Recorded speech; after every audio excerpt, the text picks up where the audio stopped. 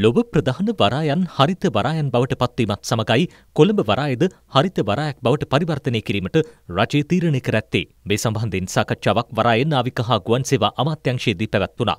චීනයේ Shanghai නාගරික ප්‍රවාහන කොමිසමේ නියෝජ්‍යාධ්‍යක්ෂ general වොන් ෂියාවෝ G මහතා ඇතුළු එරට නියෝජිත පිරිසක් දීටෙක් වුණා. නාවික බහණ්ඩ හා බහලුම් ප්‍රති අපනයනය කිරීම සඳහා කොළඹ වරාය වැඩි වශයෙන් පරිහරණය කිරීමටද මෙහිදී එකඟතාව පළවී තිබෙනවා.